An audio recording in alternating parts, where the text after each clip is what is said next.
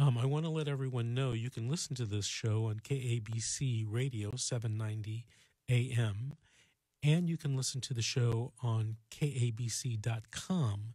It's live streamed, and you can also watch it and listen to it on Facebook, Facebook Live at The Secret How to Fight CPS and Win. If you want to call in, the number is 800 222 5222. So let's take our first caller. Let's talk to Charnel from San Diego.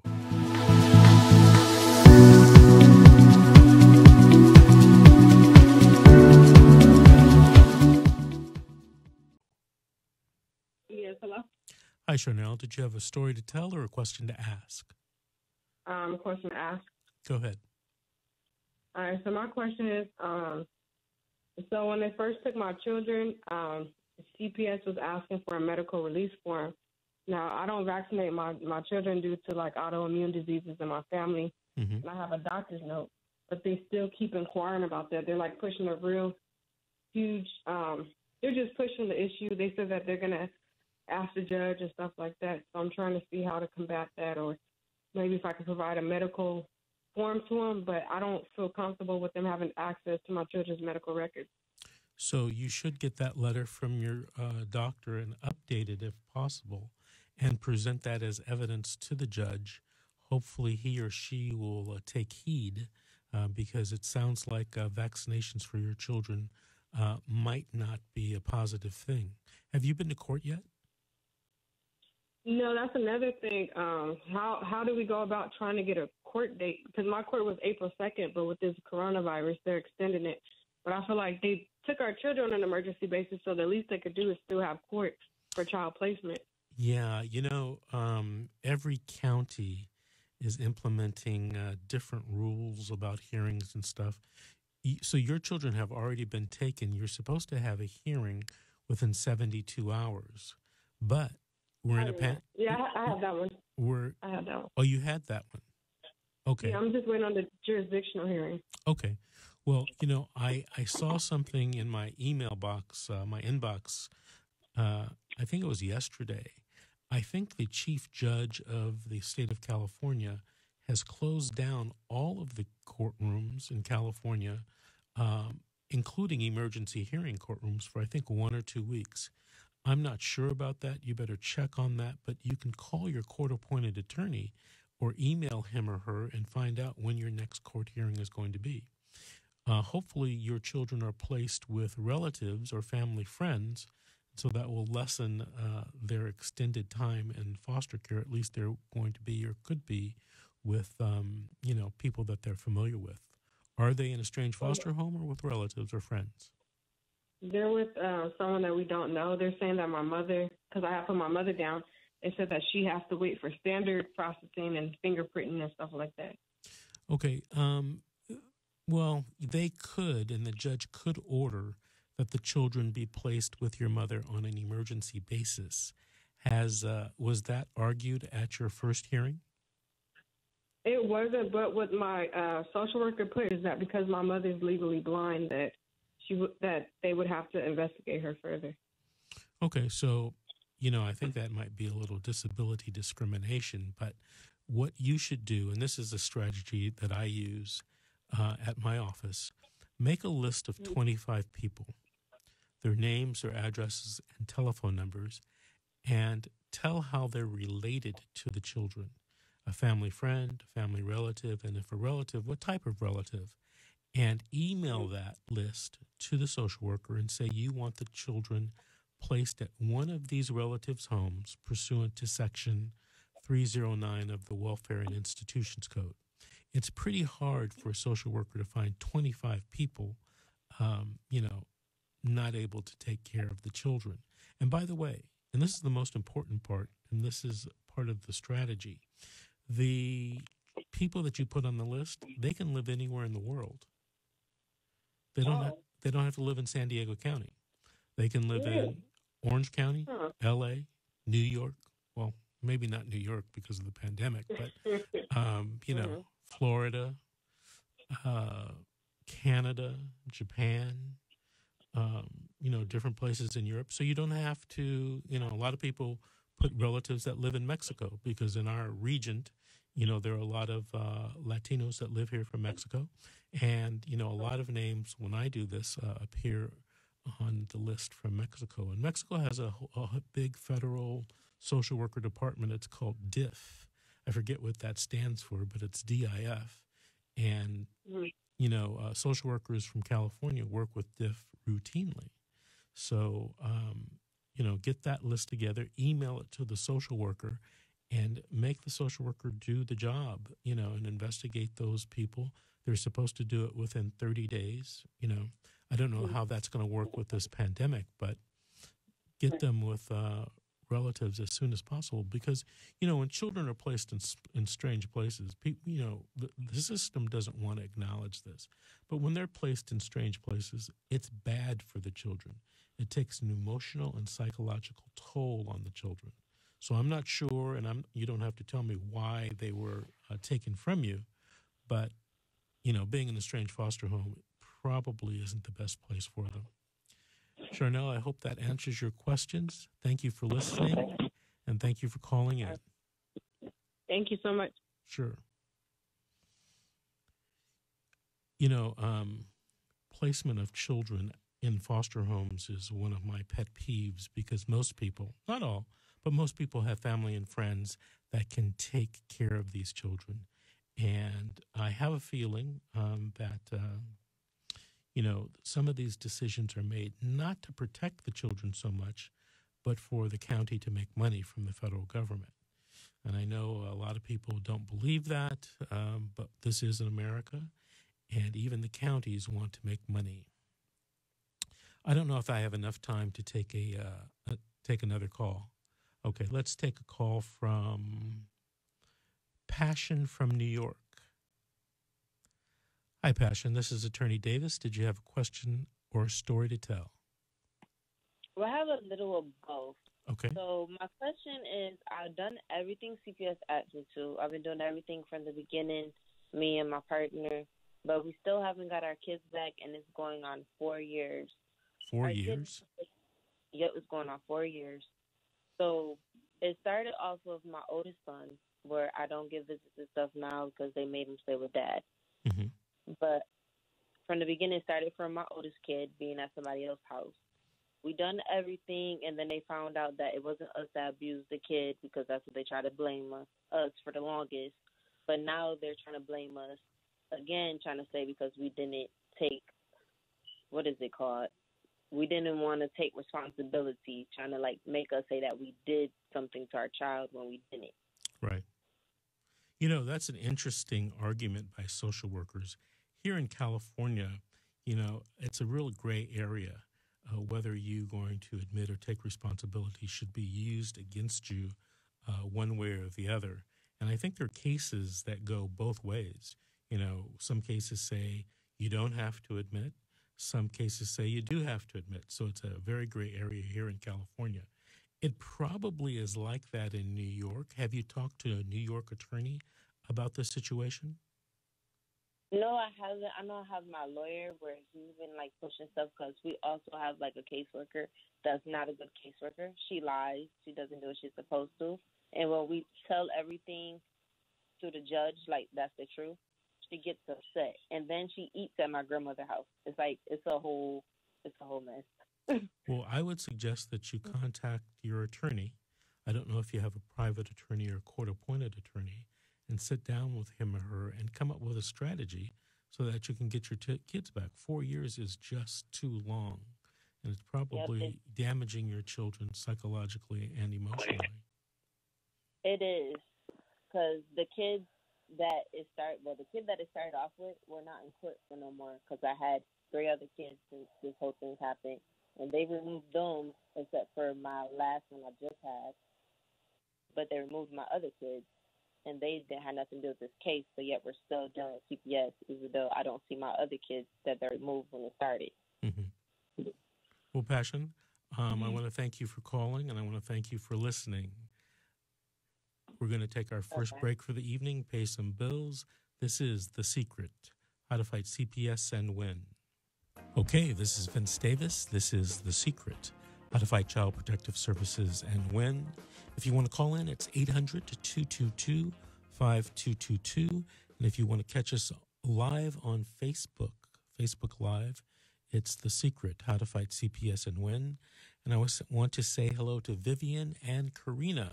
And thank you for watching live on Facebook Live. Let's go to our next quest, our next caller, Beatrice from Palmdale. Hi, Beatrice. Did you have? Hi, Mr. Davis. Hi. Did you have a story to tell or a question to ask? Uh, I guess you could say it's a little bit of both. Um, I wanted to ask um, because I know that you deal primarily with CPS cases.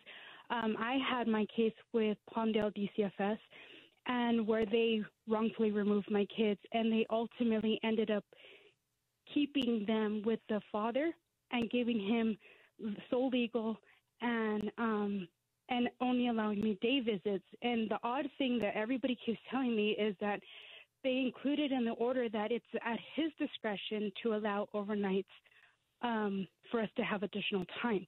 Um, so I've been trying um, on multiple occasions to try to see if I can get more time, you know, see if I can speak to an attorney about going to family law and trying to change the orders. On my orders, it also does say that if I have a letter from a therapist um, to state that they have reviewed all of the um, the DCFS paperwork and have the recommendations, then I can go ahead and change the order. But when I've tried to do that, um, they're not budging, and we've gone to the point like even after they removed my kids from DC uh, from me, my youngest son at the time was only 11, excuse me, and um, he ended up on a suicide hold. And they completely ignored the fact that he was hospitalized and on the hold, and then they turned around and tried to blame me for it. And at that time, I only had monitored visits at the DCFS office, which blew my mind because a lot of the stuff that was coming through was just um, a lot of made up information. Um, they were well, reporting. Beatrice, hold on a second. To, hold on. Is your CPS case closed or is it still open? It's closed right now. So pretty okay. much what my question is going to be is is it is it really unlikely for me to be able to go back to family law and get these changes because my kids are in a really bad place right now. They're already running away from the father's home. Okay, hold on a second. Hold on. Mom, we want to come back. Hold on. Mm-hmm. It is not unlikely that you can get these changes made. In other words, go to family law court, file what's called a request for order to modify custody and visitation, and you'll be heard by the judge. You okay. don't have to ask DCFS or CPS to help you. They, as a matter of fact, they won't help you. They're not not involved in the case anymore. And, right, and, and from even, what you're telling uh, me, and wait, sorry. and what you're telling me is, you know, you're not going to get any satisfaction from the dad. So don't even waste your time. Right. Just go to family law court. Right. Okay. Yeah. Because we tried doing it um as like because I even went in for a restraining order because uh, there was an issue with his father having guns and my son got access to the guns after they closed the case. Uh, that we ended up back in DCFS and then they gave the kids right back to him. Um, and right now he's pending criminal charges. But you know, there's still. I went to you know the family law and I asked for a restraining order, make sure that uh, because even the kids were coming back saying he's still talking about you know, wanting to permanently remove me and all this other stuff. So I was worried about it because we do have a DV past. Um, so my thing was, okay, I need to protect myself, protect my kids. And um, it was denied, you know, like, and so when we tried doing that, even recently, my sons, I found out that they asked my father for help and they, they applied for a restraining order and it got denied also. You know, so what, we're what family like, law court what, are you going to? To the Michael Antonovich in Lancaster. In Lancaster. Uh, were you married with the father? Yes, I was. And did you guys go to court to get divorced? Yes.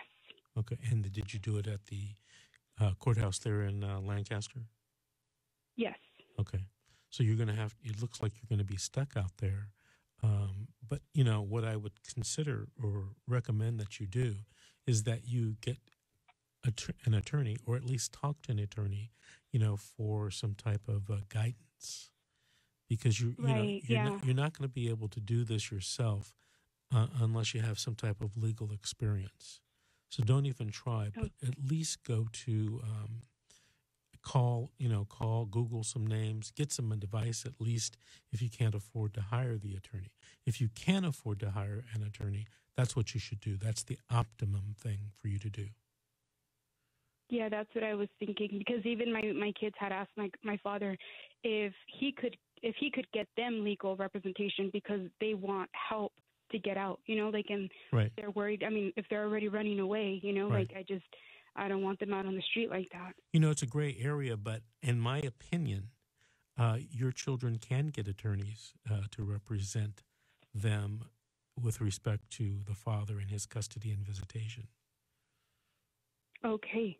But the more Oh, the right, more that's- the more normal practice is for you to get, you know, an attorney and go to court and inform the judge what this what these children are doing and what they're saying. Okay. Right. Yeah, because they haven't. Uh, they had. Well, they did have. Um. Um. Sorry, a court date for the restraining order Mhm. um, a few weeks ago, and it got postponed because the father failed to take the kids to the hearing. Right.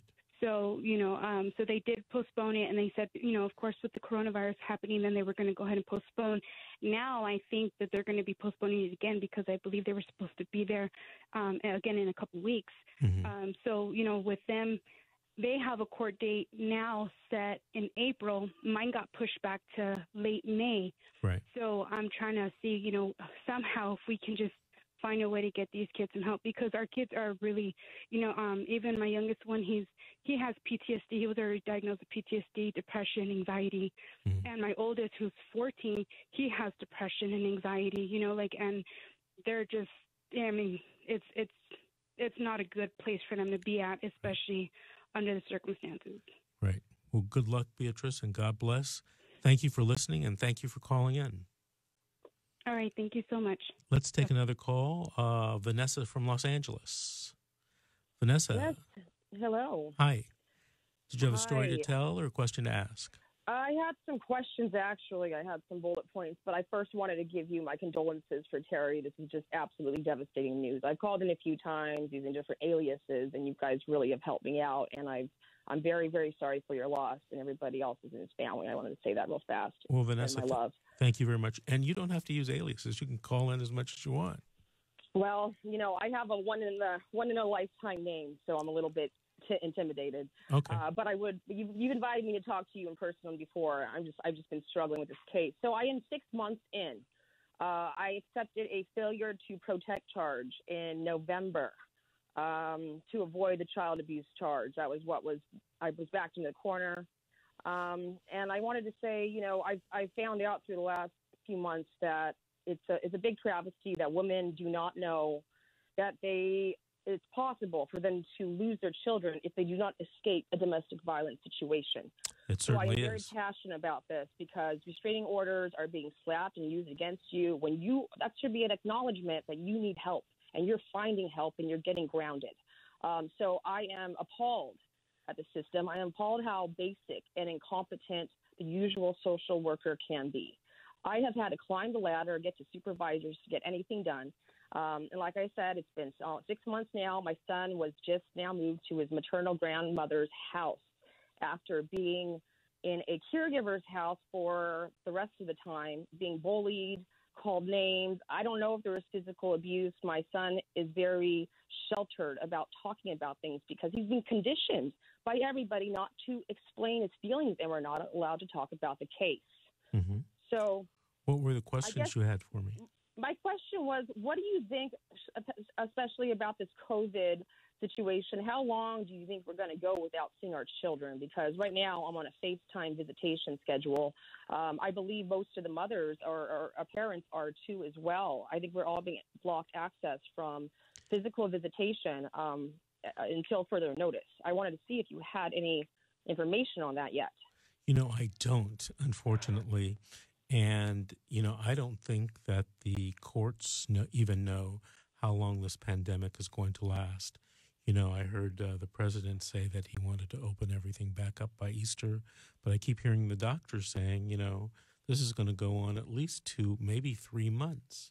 And Yes. you are like a lot of people in the state of California.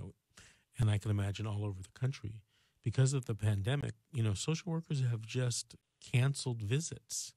hmm You know, I don't know if that's legal or constitutional or if it's good, you know, medical practice. I just don't know. I think there could be a less restrictive Liability. alternative, you know, set Mm. up FaceTime. I know there, I have a case in Alameda County where the mother is being able to visit on FaceTime on an iPad. Um, but, you know, things Yes, should be. that's what we're doing. I think that's what everybody's doing right now. Is we're Okay, only good. having that kind of um, virtual contact, which is great. And I mean, my perspective is I'll do anything to keep the kids safe, but obviously having the kids being emotionally distanced from their parents is adding to you know the current stress of not even going to school anymore. Their whole Right. dynamic and schedule is changing. Right. Uh, But- my second the- question, oh, go ahead. sorry, Go ahead. um, uh, pertains to uh, filing a lawsuit uh, for certain people in my case.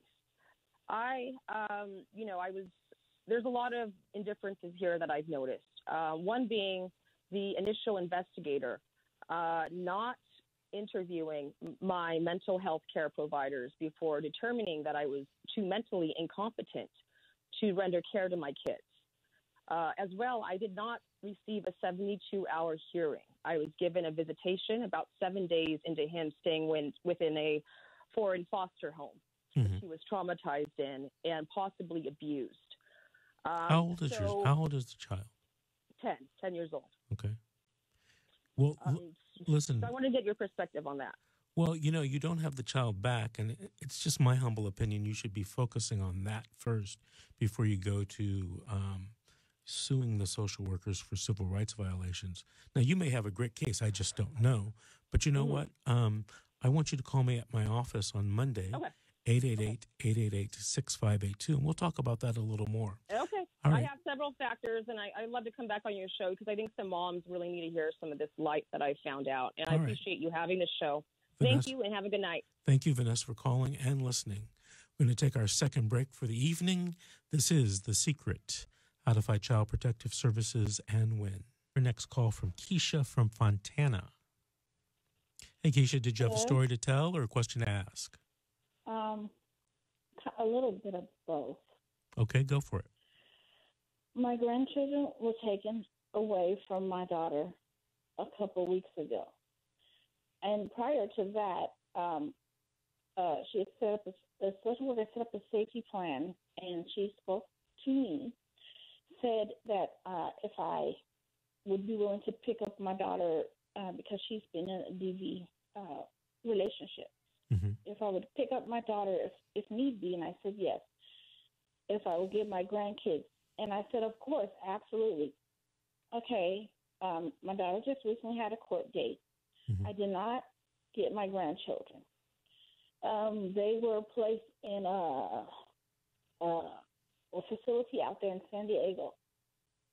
Um, the way that the social ma- social worker made it sound like I was going to get my grandchildren right then and there. Then they said that I had to wait a little longer. So um, during that time, uh, uh, I was told that my granddaughter uh, was being bullied in the in the facility, and now she's placed in a um, the foster person. I contacted the foster lady. Today was the first day that uh, she answered the phone. I called her like twice. Today was the first day, and let me say a couple days. Um, and uh, I feel discriminative because I have a disability, and that shouldn't matter. I've raised four children, Mhm. and I've had my disability all my life. Keisha, let me ask you a couple questions. Is the case in San Diego County? Yes, yes, it is. And you live in what, San Bernardino I live in County? Fontana, San Bernardino County. My daughter was just on earlier. Okay. Spoke to her. So let me tell you what you need to do, okay? Okay. I'm going to tell you what you need to do. I'm not sure you're going to be able to do it because you you may not have the expertise to do it. But if you're a grandmother trying to get placement of the children who are in foster care, what you need to do is file what's called a 388 petition requesting for placement. And there's several parts to that 388 petition. The second thing is you should file what's called a de facto uh, parent motion. A lot of people will tell you you won't be able to file that, but under a case, what? a de facto motion, Uh huh. um, but under a case called In re Charles S., any relative can file that motion and get standing in the court. The third thing that you Uh-huh. should file is a JV 285. You can Google that. So you can notify the court of all of the things that you want to do. And in this case, you want the kids placed with you. The, ne- Okay. the next thing you should file is, a, I forget the number, it's 585 or something like that. But anyway, it's a form to petition the court to give you access to the court records. You see, these cases are confidential. And unless the Uh-huh. judge gives you access, you won't know or have any of the reports or anything. You won't even know what they are saying about you unless your petition for access to the records is granted. Okay. There's an additional thing that I do, and a lot of people poo poo this, but I, I think it's uh, has a basis in law. Um, you should file a petition for temporary and permanent legal guardianship. Okay? Oh, I can do that. Okay, I can do that from here or there. You, you if you fill it out and you do it properly, you can file it in San Diego County in the courthouse. Which courthouses are the kids in? Are they on Meadowlark or um, East Uh, County El in El, Cajon. El Cajon? El Cajon. They're in El. Cajon. Okay. So um, the judge in El Cajon is a very fair gentleman, uh, in my opinion. And I think he's pro family. That's the impression that I've gotten. Um, I've appeared in front of him a few times, and my office, other attorneys in my office have appeared in front of him. But you're going to Mhm. have to do the right thing. I mean, if you don't do it right, you're not going to come out there with, out of there with the kids. So you got to do the right thing. If you call me Monday, I'd be willing to talk to you and maybe consult with you on what you need to do. You know, the most optimum thing for you to do is hire an attorney to uh, go into court with you and to do all this paperwork. That may be out of your budget. If it is, you know, call me and I we can consult and I can give you some tips. Okay. Okay. Um. Okay. I'll call you Monday. Thank you, Um, Keisha. Yeah. The number you want to Thank you. call is 888 888 6582. 888 888 6582. I look forward to speaking to you on Monday, Keisha. Thank you. All righty, let's take our next call from Crystal from Los Angeles. Crystal, did you have a story to tell or a question to ask? I do. I have a question to ask. Um, it's regarding my grandson. And I've been dealing with CPSS for um, about a couple years.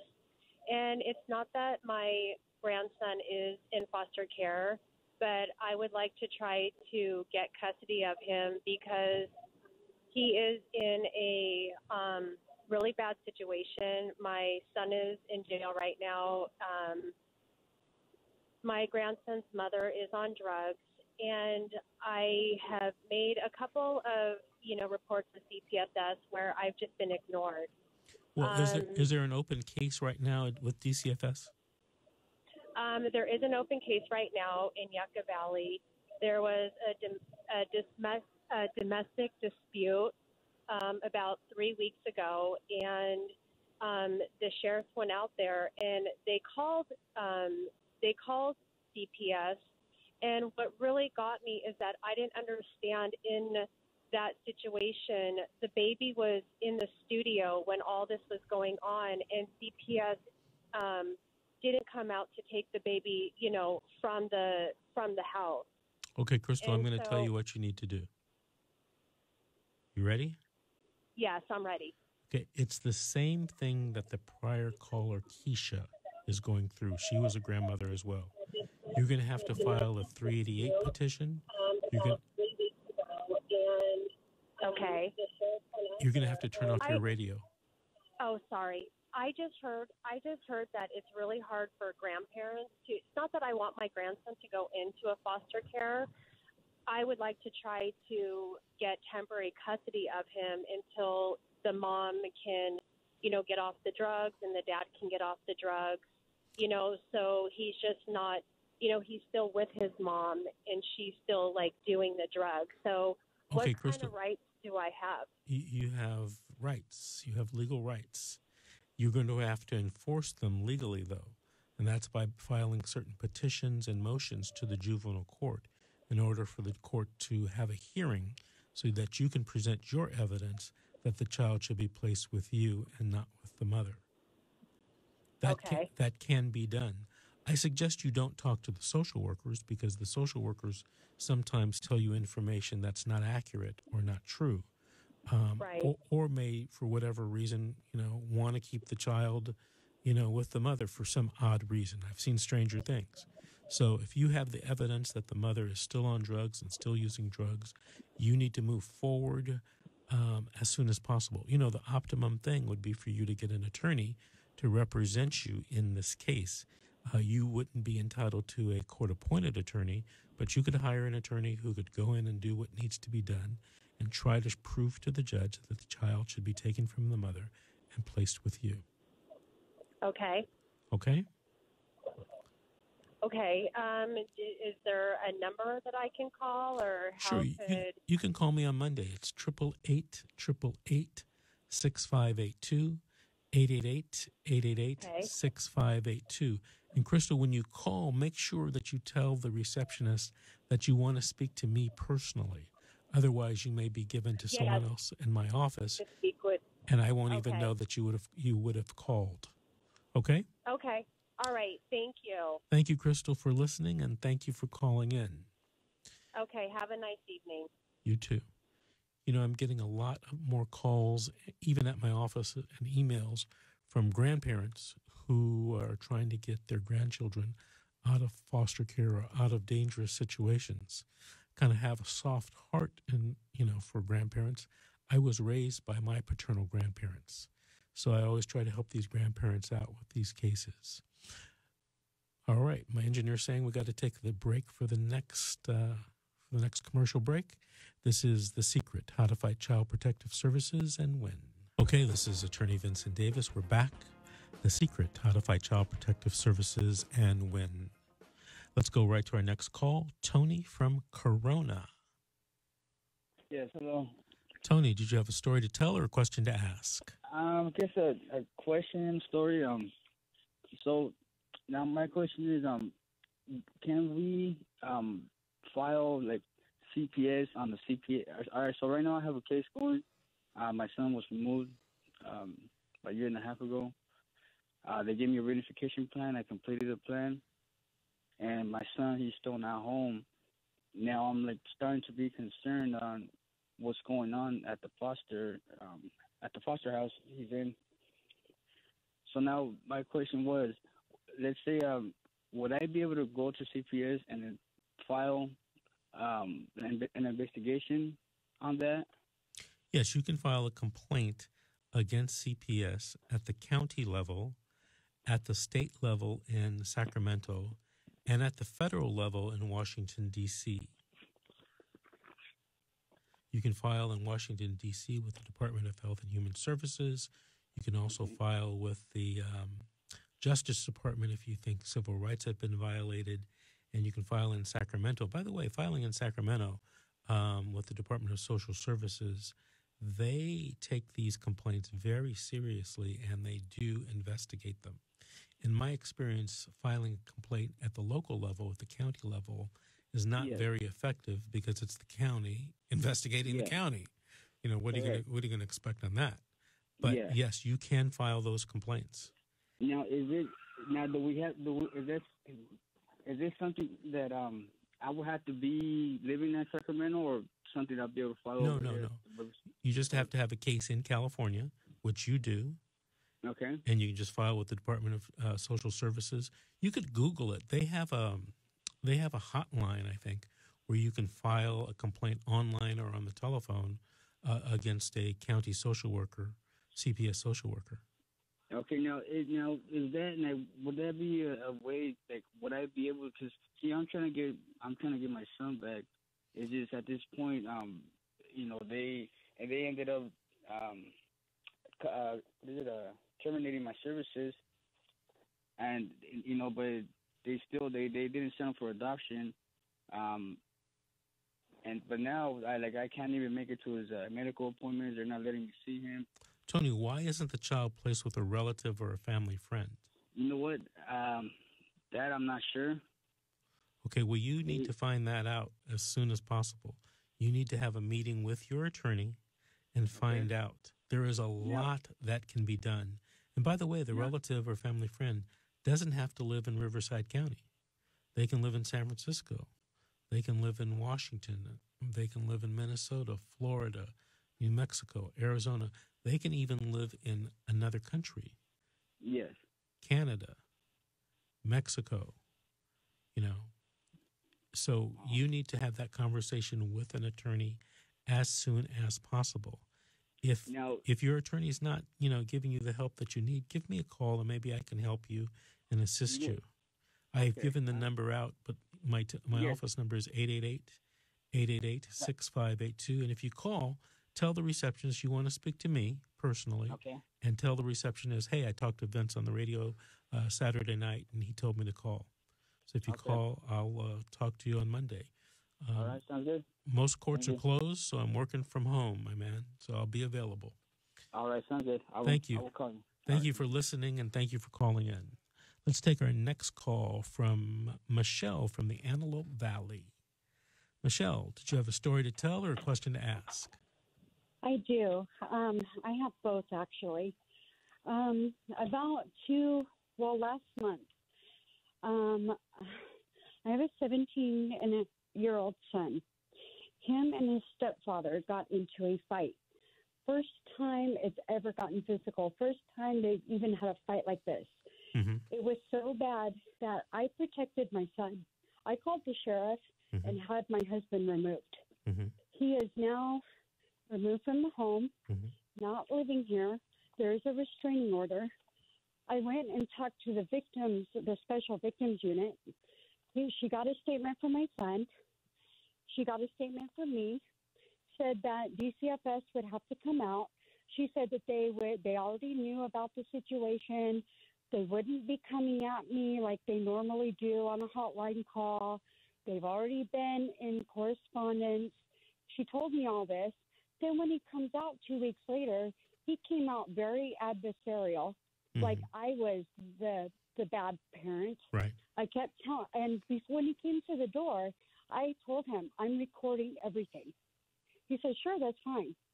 I have the whole interview with me and him, my son. Everything is recorded. Mm-hmm. Okay. Um, he did say that yes, I'm the non-offending parent, and that he was assured that I did everything right. I protected my son. He was going to close out the case. They, or the, I'm sorry, it was not even an, a case; it's an investigation. Mhm. Okay. Um, he said I get a letter in the mail in one or two weeks. It's been over two weeks. I haven't gotten anything. Now, is it just because maybe this whole coronavirus thing going on that maybe it's delayed? Um, Right. I, I, I, I'd be guessing on that. Um, if I had to guess, I'd probably say yes. You know, uh, this corona thing has uh, impacted uh, services like DCFS uh, and CPS all throughout the state, if not the country. Um, Mhm. they haven't taken your son away, right? He's still with you. Yes. Okay. So what I might do is make a uh, send an email and ask for a closing letter. Doesn't sound like a case where there should be, you know, court involvement. And uh, Right. you know, your son is 17, almost 18. The stepfather's out of the home. So it sounds like everything's okay. Right. It's just um, after he said that, oh, everything's fine, you're going to be getting a letter. Um, then he calls me and wants me to drug test in two days. I said, no, I want to do it now. No, no, you So don't I have to drug drug- test. Oh well, I I did it. I because I, I I'm not used to this kind of stuff. You Yeah. know what I mean? I have nothing to hide. So You don't I have to drug test. Well, I did, and it was negative. So Okay, you perfect. know, um, then he uh, then he then asked me information that he already asked.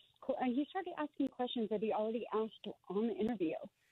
You know, if I were like you- he wasn't even here writing it down. And then he asked about visitations that he had with his. But he's asking about people that weren't even involved in this whole situation.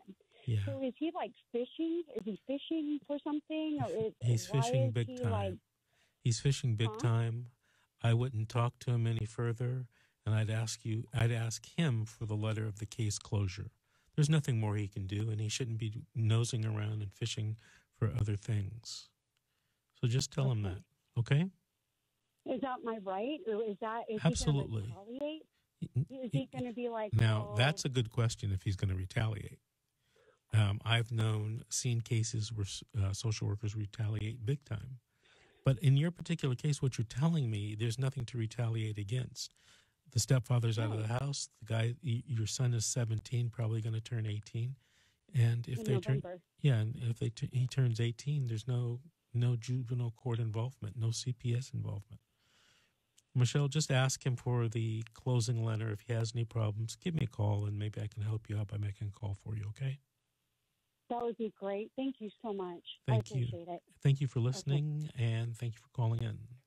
Let's try to take one more call before we end the show. Uh, we got about three minutes left, according to my engineer. Let's talk to Janet from Los Angeles. Janet, Hi. did you have a story Uh, to tell or a question to ask? Yeah, I I want to know like uh, what do we do like when we're let's say we're visitation and we're scared to go because every time I go like um they they they're not treating me fairly. They're they're breaking my visitation rights. They're telling me take care of the uh, like like uh, watch uh, like visit your kid in front of our door instead of like taking them outside or even downstairs in the building. Right. How we deal with anxiety and depression going through this. Okay, so first thing you got to do is you have to send an email to your attorney to ask him or her to help you out with the situation. The next thing that I would do is I'd file a complaint with the county, I'd file a complaint with the Department of Social Services in Sacramento, and I'd file a complaint with the Department of Health and Human Services, and possibly this, the um, the Justice Department if there had been violation of civil rights. And believe me, if you do those things, you will get uh, your problem will be addressed. Okay? Yeah, so health, health department. No, no, no. I said the Department of Health and Human Services in Washington D.C. Just Google it. Okay? Oh, for Washington D.C. Um, Health and Human Services. Department of Health and Human Services in Washington D.C. Okay? Department of Health and, and Human Services. Yes. And thank you so much. I appreciate it. Janet, thank you for listening and thank you for calling in. I appreciate it. Alrighty. We have a couple minutes left. Um, I want to stress to the audience um, about the importance of voting. Uh, in California, as you probably know, judges are elected, and if they were appointed, they have to face reelection. Um, I don't know if it's every four or six years. So it's important that you vote regarding judges. Also, it's important that you vote with regarding to state legislators. They make the laws, they modify the laws regarding how you are treated in court by CPS and by the juvenile judges. So use your power to vote. I want to thank everybody listening, and don't forget we're going to say a prayer for Terry Greenstein uh, and his family. This has been The Secret How to Fight Child Protective Services and Win. We'll see you next week on the radio.